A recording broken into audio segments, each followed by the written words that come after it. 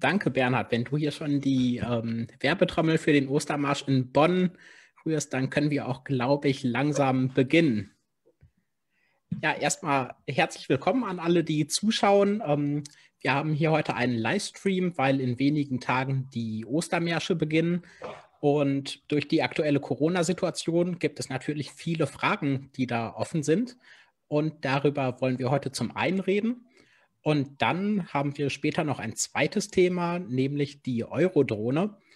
Und ähm, dazu haben wir jeweils Gäste, nämlich zum einen Bernhard Bergmann vom Ostermarsch in Bonn. Herzlich willkommen. Danke, Bernhard, dass du da bist. Danke auch.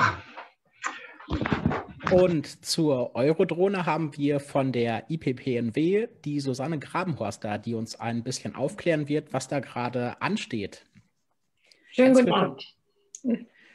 So, dann würde ich vorschlagen, beginnen wir direkt mit dem ersten Thema, nämlich ähm, den Ostermärschen und wie es mit der aktuellen Corona-Situation aussieht. Ähm, ihr wisst, die Zahlen gehen wieder hoch und viele Veranstalterinnen und Veranstalter sind verunsichert, ob die Ostermärsche jetzt wie geplant stattfinden können und deshalb dachten wir uns, wir reden heute mal darüber und wir gucken uns auch ein gutes Beispiel an, wie man trotzdem die Ostermärsche verantwortungsvoll gestalten kann. Und ähm, wir vom Netzwerk Friedenskooperative haben uns gedacht, der Bonner Ostermarsch hat das sehr gut gemacht. Und darüber reden wir jetzt mal mit Bernhard. Ja, erzähl vielleicht erstmal, ähm, Ostermarsch unter Corona-Bedingungen, was bedeutet das denn für euch als Veranstalterinnen und Veranstalter? Ja, äh, erstmal einen wunderschönen guten Abend. Ähm, äh, erstmal natürlich mehr Stress. Ganz einfach. Äh, es ist viel mehr zu beachten. Ähm, wir sind, wir haben noch nicht eine sehr lange Tradition. Äh, wir haben den Ostermarsch hier in Bonn 2014 gegründet. Äh, was heißt wir? Ich, vielleicht etwas seltsam für Außenstehende. Ich komme von der Gruppe Hand in Hand. Das ist eine Mitsing-Gruppe, die den Bonner Naturfreunden nahesteht. Ähm, und diese Gruppe kam 2014 auf die Idee, wir bräuchten in Bonn einen Ostermarsch äh, und ist einfach losgelaufen. Als Gruppe inzwischen äh, sind wir angelangt, so etwa bei 400 bis 500 Leute, die jedes Jahr teilnehmen und werden von äh, insgesamt 41 örtlichen Gruppen unterstützt. Also ein sehr breites Spektrum ähm, so dass man denken könnte, wir könnten uns jetzt auf sehr viele stützen bei der Vorbereitung. Es ist aber nicht so. Es, ein Großteil der Arbeit bleibt bei wenigen Leuten hängen. Das war vor Corona so und es ist bei Corona das Gleiche. Ja, das mag man gar nicht glauben, weil ich habe da wirklich einen ordentlichen Ostermarsch über die Jahre auf die Beine gestellt. Und ähm, wir beobachten natürlich auch, wie die Ostermärsche in den verschiedenen Städten in Deutschland äh, so ablaufen und wie viele Leute da hinkommen. Und da ist der Ostermarsch mit so 500 Leuten schon immer eine Bank. Das macht ihr richtig gut, wenn ich das mal so sagen darf. Also wir freuen uns da jedes Mal drüber, über die Bilder. Ähm, ja, vielleicht ähm, erzählst du mal ein bisschen, warum ist es denn euch so wichtig, dass auch jetzt trotz Corona der Ostermarsch stattfindet? Ja, also einerseits ist es die Frage natürlich von Wahrnehmung von Bürgerrechten, aber die andere Sache ist mal eine ganz praktische Überlegung. Wir haben letztes Jahr ihn ausfallen lassen. Also auf Hochdeutsch, wir sind letztes Jahr zu zweit durch Bonn gelaufen.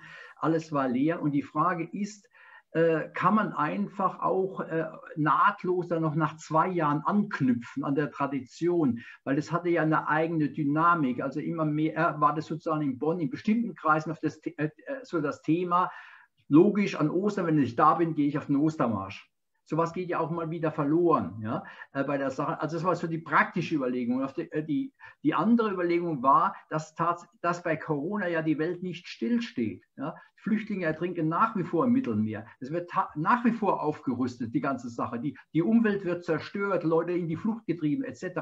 Das ganze Leben läuft weiter, auch wer, äh, das ganze Leben falsch.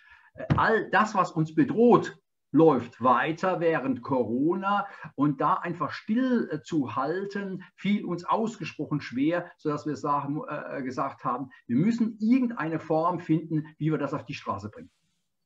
Und wir hatten schon im Vorfeld uns überlegt, es könnte sein, dass wir mit höheren äh, in, äh, Zahlen an, äh, rechnen müssen, äh, dass wir also, äh, dass die Pandemie weiter ansteigt und haben von vornherein also das mit einkalkuliert in unser Konzept.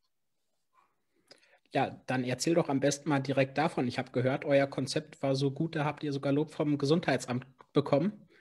Wie ja, also muss dazu sagen, seit 15 Uhr haben wir die Genehmigung des Bonner Ostermarsches durch die Polizei Bonn äh, und dem Gesundheitsamtes. Ähm, ja, wie sieht die Sache aus? Äh, Im Prinzip so ein bisschen Anhang an Nassim Hikmet, der mal äh, ja, die Frage Brüder, also so, sozusagen stolz wie ein Baum und brüderlich wie ein Wald, sagen, wie schaffen wir es, dass, die, dass der, jeder Einzelne Einzel ist und wir trotzdem solidarisch zusammenhalten. Und da haben wir uns gedacht, das wäre ja wunderbar, wenn wir das mit Bändern machen. Also ein ganz langes Band. Nehmen wir mal an, wir sind dann sage jetzt mal eine Zahl, vielleicht ist nicht, ich vermute, es werden dieses Jahr nicht so viele werden wie sonst. Nehmen wir mal an, es sind 400. Ja, und dann ist dann zwischen jeder Person mindestens drei Meter Abstand. Und wir laufen grundsätzlich nur zu zweit in einer Reihe, weil auch zwischen den beiden ist mindestens drei Meter Abstand und bilden dann sozusagen zwei lange Bänder der Solidarität, die dann etwa einen Kilometer lang ist. Das heißt im Prinzip wie eine Menschenkette, die in Bewegung ja, ist. So ist es.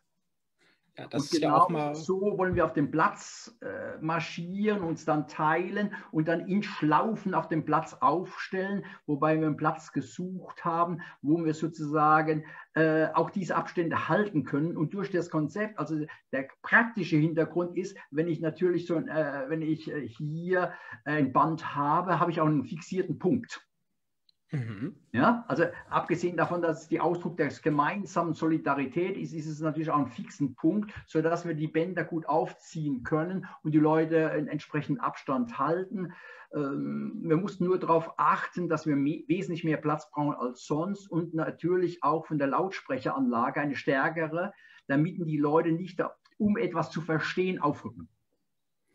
Und euer äh, Ostermarsch ist, das kann ich aus eigener Erfahrung sagen, immer ein sehr musikalischer Ostermarsch. Das heißt, es wird leider wahrscheinlich auch dieses Jahr weniger gesungen, oder?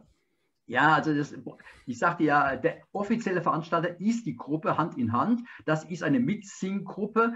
Äh, es wird gar nicht gesungen. Äh, allerdings äh, ein kleines Ensemble von uns äh, wird äh, sozusagen die Kundgebung begleiten mit verschiedenen Liedern, zum Teil auch neu komponierten Liedern. Speziell jetzt für den Ostermarsch. Ja, klasse. Da bin ich schon mal auf jeden Fall sehr gespannt drauf. Ich bin natürlich auch da beim Bonner Ostermarsch. Aber lass uns doch noch mal kurz hören, was sind denn eure Themen, die euch dieses Jahr bewegen? Ja, also äh, vielleicht auch, äh, ich weiß es nicht, ein Akzent vielleicht ein bisschen anders wie in anderen Ostermärschen. Wie wir uns gegründet haben, 2014, haben wir von vornherein nicht nur den Ost-West-Konflikt im Auge behalten, sondern alle kriegerischen Zustände auf der Welt, aber auch die Fluchtsituation, dass also äh, hier die, äh, die Integration gerade der Menschen, die im Bereich Flüchtlinge arbeiten, in den Ostermarsch von Anfang an war so da, äh, dann äh, sozusagen erweitert auch um die Frage Ökologie, also Fridays for Future ist bei uns mit dabei. Ja. Jetzt auch äh, die Zusammenhänge äh, wie mit der Pandemie Corona, äh, wo, das, ja, wo das Geld jetzt für Rüstung ausgegeben wird, wo man so dringend bräuchte im Gesundheitswesen. Das heißt also, wir haben auch aus dem Gesundheitsbündnis jemand dabei. Also wir versuchen, das Thema Frieden weit zu verstehen und die Zusammenhänge aufzuzeigen zwischen den Themen, die auf den ersten Blick vielleicht gar nicht so viel miteinander zu tun haben. Ja, klasse. Auch das klingt gut. Ist denn das Thema Drohnen auch bei euch ein äh, auf der Tagesordnung? Eher, eher, etwas kürzer, muss ich ganz ehrlich sagen. Das heißt also, wir haben, äh, wir starten äh, ab erstmal eine kurzen Einleitung zum Thema neues Versammlungsgesetz, typischen NRW-Problem, äh, aber dann mit der Frage der momentan äh, Aufrüstung, da kommen natürlich die Drohnen vor. Ja? Äh, also, aber die neuen Atombomber und so weiter, wir sind ja nicht weit weg von, äh, von Büchel mit seinen Atombomben äh, und alles, was da passiert. Aber um das mal ganz aufzuzeigen und auch in Zahlen auszudrücken, was heißt denn diese 2%? Äh, und wo fehlen denn diese auch? ja, um dann, dann überzugehen äh, sozusagen zu den Themen, was, für was brauchen wir auch das Geld? Dann kommt halt die Frage Gesundheit äh, und, und, die, äh, und dann die Zusammenhänge mit Flucht, die äh, zusammen, ja, da wird jemand von der Seebrücke mit dabei sein, äh, Umwelt ist, äh, macht von, jemand von Fridays for Future, ähm, ja, Gesundheit habe ich schon gesagt, also von dieser Gesundheitsbündnis, das es jetzt gibt hier in Nordrhein-Westfalen für eine Volksinitiative. Und am Schluss wollen wir dann, äh, ja, und auch die Frage der sozialen Kosten von der ganzen Sache einen eigenen Beitrag und wollen dann zusammen am Schluss nochmal die alle, noch, alle Punkte noch einmal sozusagen in kurzen Staccatos äh, vortragen mit wechselnden Sprecherrollen, immer nur drei Sätze, um sozusagen auch, auch ähm, von der Art und Weise, wie wir vortragen, nochmal eine Botschaft rüberzukommen. Was uns ganz wichtig ist, am Schluss soll eine Botschaft ste äh, stehen, dass wir tatsächlich es packen können, dass wir optimistisch sind und dass es darauf ankommt, sich jetzt zu engagieren. Und wir hören dann immer auf, traditionell mit, äh, mit dem Lied We Shall Overcome. Klasse, okay, ich bin gespannt, ich freue mich drauf. Und Bernhard, jetzt ähm, danke ich dir schon mal so weit. Wenn du magst, kannst du gerne noch dabei bleiben. Du kannst aber auch äh, die Konferenz hier verlassen, denn jetzt geht es zu meinem zweiten Gast, nämlich zu Susanne Grabenhorst, die sich auch ähm, damit befasst, was eine Menge kostet fürs Militär und wo es dann am Ende fehlt. Es geht jetzt um die Eurodrohne. Ja, Susanne, erzähl ich mal am. Mal mein Video. am 14. steht im Haushaltsausschuss eine große Entscheidung an. Worum geht es da? Also es geht um die weiteren Entwicklungskosten der sogenannten Eurodrohne. Das heißt, es ist eine Vorlage vom Verteidigungsministerium und das Finanzministerium hat die aber kommentiert. Und da soll jetzt über meines Wissens über weitere drei Milliarden Entwicklungskosten für die Eurodrohne entschieden werden. Und wenn ich das richtig auf dem Schirm habe, dann ist ähm, das Finanzministerium auch der Meinung, dass äh, die Eurodrohne droht ein ziemliches finanzielles Desaster zu werden und dass es am Ende doch noch mal deutlich viel mehr sein könnte. Ist das richtig soweit? Ja, also das äh, steht wohl in einem, sagen die Medienberichte, steht wohl in einem Kommentar dazu. Ähm, das scheint etwas so ambivalent zu sein, dass es äh, zwar kritisiert wird, also dass die Verhandlungen mit den Konzernen ähm, nicht so, so gut gelaufen sind, nicht so abgesichert sind, dass die ähm, Gewährleistungszeit äh, verkürzt wurde ähm, und dass die, äh, das Risiko sehr stark auf Seite des Auftraggebers oder der Auftraggeberin liegt. Ähm, trotzdem ist dann insgesamt doch wohl eher eine positive ähm, ja, Empfehlung dabei, dass es ähm, zunächst mal weitergeführt werden soll. Ähm, was dann letztendlich im Haushaltsausschuss entschieden wird, ähm, ja, ist ja noch nicht so ganz sicher. Also wir haben es ja im Dezember erlebt, dass dann doch überraschend, da ging es dann um die deutschen Drohnen, um deren Bewaffnung, dass dann relativ überraschend doch nochmal eine Verschiebung äh, stattgefunden hat. Diesen Bericht, ähm, um den es da geht, da gab es in der letzten Woche auch einen ähm, Artikel bei der Tagesschau bei. Den können wir natürlich äh, den Zuschauerinnen und Zuschauern auch in die Kommentare gleich im Anschluss posten. Dann kann das nochmal nachgelesen werden. Ähm, was noch ein interessanter Aspekt dabei ist, ist ja, dass die Eurodrohne, die Finanzierung der Eurodrohne auch noch gekoppelt ist an andere Rüstungsprojekte. Das scheint mir doch sehr problematisch zu sein. Wie siehst du das, Susanne? Ja, so ähm, dass die Eurodrohne hängt zusammen. Also praktisch haben wir im Moment mit dieser autonomen, dieser Frage der autonomen Kriegsführung praktisch drei Projekte. Das ist einmal die, ähm, so als ersten Schritt quasi die Bewaffnung der Bundeswehrdrohne der geleasten, ähm, der Herring TP. Jetzt das zweite, die Eurodrohne. Das ist ein äh, Projekt von drei EU-Staaten.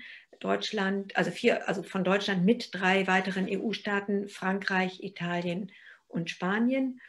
Und ähm, das Ganze steht wiederum mit dem dritten Themenbereich, dem FCAS, dem Future Combat Air System, ähm, hängt das zusammen. Das ist eine noch langfristigere und noch größere Planung.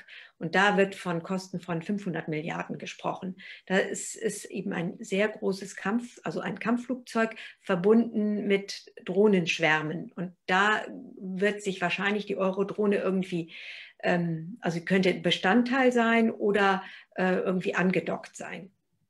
Das heißt, wenn der Haushaltsausschuss jetzt äh, Ja zu der Eurodrohne sagt, wird auch schon der erste Baustein bei FKs mitfinanziert. Könnte man das so ausdrücken? Ja, würde ich schon sagen. Also das ist ein, eine Möglichkeit, auch weitere Erfahrungen zu sammeln ähm, mit, mit solchen Waffensystemen. Es ist eine Möglichkeit, ähm, in dem gesamten Rüstungsgeschäft äh, weiter Füße in die Türen zu bekommen, na, weil, die, weil die deutsche Airbus äh, ähm, Niederlassung quasi oder Tochter äh, wird ja da führend sein oder soll führend sein. Ähm, ja, das ist einfach ein, ein weiterer Schritt auf einer äh, schlüpfrigen Bahn in Richtung immer mehr ähm, Rüstungswettlauf und immer mehr ähm, autonome Kriegsführung. Mhm. Und ich vermute mal, ihr von der IPPNW werdet das weiter im Blick behalten und auch dazu aktiv werden. Wir vom Netzwerk Friedenskooperative auch. Und du bist ja auch jetzt nicht erst seit gestern zu dem Thema aktiv, sondern auch schon seit einiger Zeit. Was ist denn dein Gefühl? Bringt das was, dass wir uns da einsetzen gegen die Bewaffnung von Drohnen? Nochmal kurz zur Motivation. Also wir von IPPNW ähm, beobachten die, die bewaffneten Drohnen vor allen Dingen deshalb äh, aus unserer, wegen der humanitären Konsequenzen, aus unserer medizinisch-gesundheitlichen Perspektive, die ähm, eben wir kommen eben zu dem Schluss, dass diese Waffen nicht präziser sind und weniger zivile Tote haben oder gar weniger starke Verletzungen machen. Für all das gibt es gute Gegenbeweise. Also sie sind eine große äh, gesundheitliche und psychische Belastung.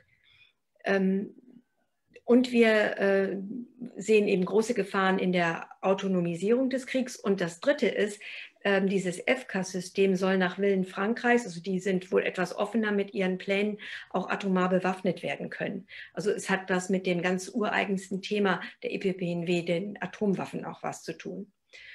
Und deshalb sind wir, versuchen wir zu diesem Thema aufzuklären und zusammen mit anderen, mit dem Arbeitskreis gegen bewaffnete Drohnen, in dem ähm, auch die DFGVK ist oder die Drohnenkampagne, äh, versuchen wir gemeinsam äh, Aufklärungsarbeit zu machen und auch Lobbyarbeit.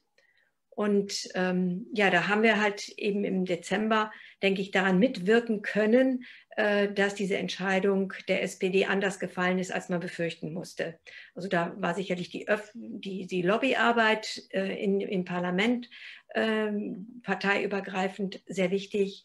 Ähm, und es war aber auch sehr wichtig, das Engagement von vielen, gerade Friedensbewegten, die sich an ihre Abgeordneten gewandt haben. Und jetzt nicht zu vergessen, die SPD-Basis. Also da war doch sehr viel Widerstand und es gab Beschlüsse und äh, ja, und da konnte das dann erstmal zumindest verhindert werden. Und um ein bisschen zu dem Thema von Bernhard von vorhin zurückzukommen, ich würde fast sagen, das war doch ein Riesenerfolg der Friedensbewegung, dass da im vergangenen Jahr äh, geschafft wurde, dass nicht Millionen für Rüstung ausgegeben werden, sondern und stattdessen für andere Bereiche zur Verfügung stehen. Ich glaube, das war doch für uns alle sehr motivierend, oder? Ja, auf jeden Fall. Also ähm, das, das hat gezeigt, dass es sich, sich lohnt, eben äh, Fakten zu verbreiten, ähm, Veranstaltungen zu machen, äh, Betroffene zu Wort kommen zu lassen, ähm, auch in Corona-Zeiten zu versuchen, eine Gegenöffentlichkeit ähm, herzustellen, was wir durch diese Online-Formate äh, gemacht haben. Und das wollen wir auch jetzt wieder tun. Also wir haben die Hoffnung, dass wir ähm, auch am 14.04. Ähm, zumindest Gehör finden, wenn wir jetzt unsere Briefe schreiben. Also wir wollen in dem Arbeitskreis äh, Briefe entwickeln, die an die äh, Mitglieder des Haushaltsausschusses gehen. Und äh, wir wollen eben auch in der Friedensbewegung weiter über dieses äh, brisante Thema informieren. Und in Zukunft werden ja wieder weitere Entscheidungen einstehen und es ist Bundestagswahlkampf und ähm, in den Parteien ist es auch nicht so eindeutig, dass man das unbedingt will, diesen teuren, äh, hochproblematischen Aufrüstungsschritt. Also da rechnen wir uns schon Chancen aus, da auch Abgeordnete erreichen zu können oder Kandidaten und Kandidatinnen erreichen zu können. Klasse. Ja, wir bleiben, denke ich mal, alle aktiv bei dem Thema. Um zum Ostermarsch zurückzukommen, Susanne, erzähl mal, ähm, es gibt verschiedene Wege in diesem Jahr, sich am Ostermarsch zu beteiligen. Welchen nimmst du denn? Zu, von zu Hause aus, virtuell oder wirklich auf der Straße?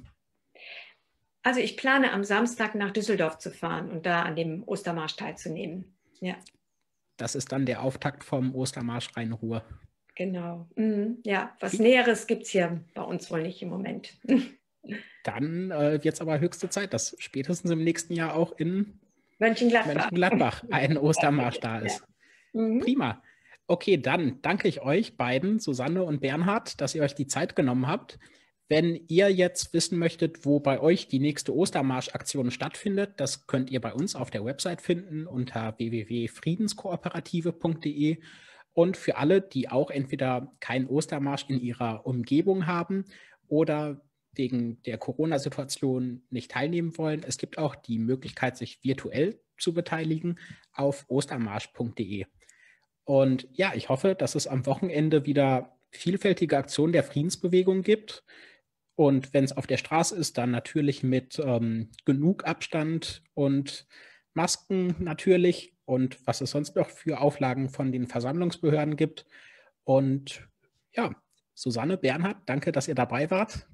Und von uns aus dann einen schönen Abend noch an euch alle und bleibt gesund. Tschüss. Tschüss.